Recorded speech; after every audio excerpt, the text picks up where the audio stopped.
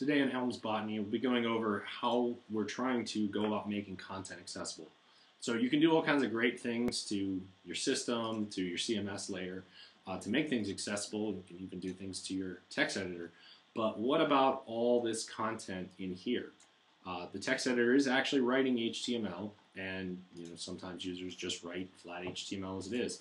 So you can write inaccessible HTML, which basically invalidates the whole process anyway. Uh, so here's the way that we're solving this. We've kind of got three approaches. The first is in the editor itself. So we've taken away options that would be inaccessible or could lead to obvious inaccessibility types of things. Uh, you can't just go making things whatever color. You know, we, you know, locking, limiting the number of colors that you can have for things. Really, you shouldn't be coloring certain text anyway. Um, enforcing that tags are, you know, strong instead of B or bold, um, stripping out certain tags. So these types of things happen in the editor initially. Um, another nice little thing, if you have paragraphs, they should be wrapped, and you know modern editors allow you to do this automatically. So you see that wrapped in a p tag to offset it. Um, it's not going to throw down 20 breaks, that kind of thing. So let's let's try and trigger an accessibility issue here. So I'll copy this text paste it there, and bold this. So if this was actually a heading, my cool heading, it shouldn't be offset and just you know, told to be strong, uh, because it probably should be a heading using the actual H tags. And so what the system can do in the, uh, third layer is an actual accessibility scrub to say, hey, uh, I know this is going to be an accessibility issue, so you better fix it. And so we can make this H2, and we'll hit save. And so there's a text editor limiting what you can put on the page, but obviously you can still make you know, logical flaws like that. Um, and so now this is an H2, which is going to pass through screen reader. It's a lot happier about it. Um, you can also run an accessibility test on the document, and this will give you more suggestions. So um, the Quail, this is using something called Quail API, and in Drupal 6, this is implemented through accessible content.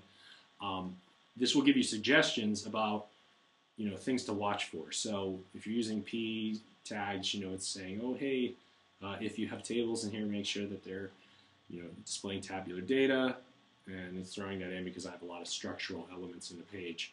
Um, this heading, all H2s, you know, make sure this is not purely for formatting. So make sure this is actually you know a heading that makes sense in terms of the hierarchy of the page.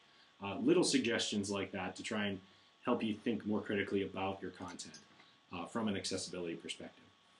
So I mentioned that was the third level of accessibility testing. So let's see how that actually is implemented.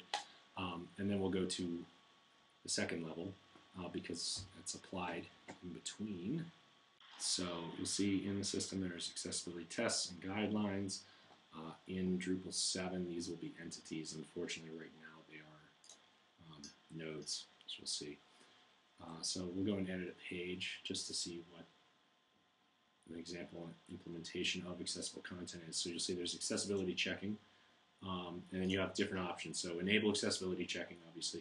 Ignore errors that involve the document or header. So I have this so that we're making the assumption that I can't, on page save, correct issues with the theme. Um, so obviously you would need other tools to audit the theme uh, ahead of time.